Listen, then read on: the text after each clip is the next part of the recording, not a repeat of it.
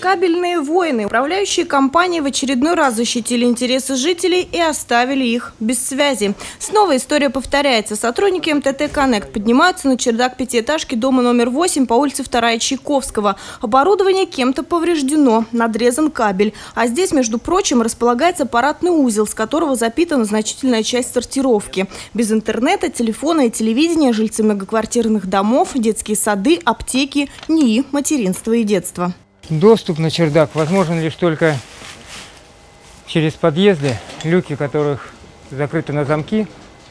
Ключи от замков находятся в управляющей компании. Ну, возможно еще, что ключи, может быть, есть у кого-то из жильцов, но во всяком случае доступ нам сюда только через управляющую компанию. А значит и порчу совершил тот, у кого были ключи от чердака. Специалистам придется переваривать оптический кросс. На работу уйдет часа два.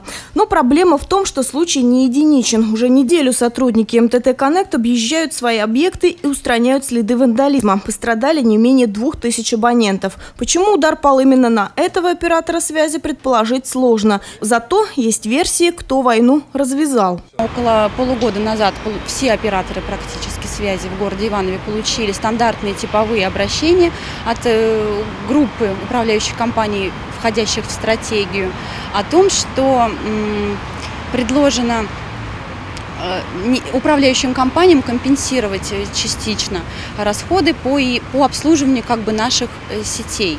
Как будто бы оказывают они нам какие-то возмездные услуги, и за это они хотят получать ни много ни мало 400 рублей за многоквартирный дом. За что конкретно должны платить управляшкам операторы связи, не понимают. Разве что за ключ от чердака, который по госстроевским нормам должны предоставлять и так. Наше оборудование мы обслуживаем сами. За размещение э, многоквартирному дому платим сами, за электроэнергию платим самостоятельно э, в СК «Гарант». Какие услуги нам оказывает управляющая компания, нам тоже непонятно. Все факты вандализма зафиксированы полицией. Кроме того, руководство МТТ «Коннект» обратилось с заявлением в МВД и областную прокуратуру. В курс дела поставлено управление ФСБ. Оператор связи несет серьезные убытки. Порча имущества, оплата внеурочных своим сотрудникам, перерасчет пострадавшим абонентам. Вся история какой-то дежавю. Полтора года назад наш телеканал уже освещал конфликт между интернет-провайдерами и управляющими компаниями. Дело тогда закончилось вмешательством прокуратуры после обращения пострадавших пострадавших абонентов в приемную Владимира Путина. Управляющим компаниям были внесены представления со штрафами, и ситуация затихла на полтора года до прошлой недели. Тогда наиболее пострадавшим оказался Билайн. Теперь под нож попал МТТ «Коннект».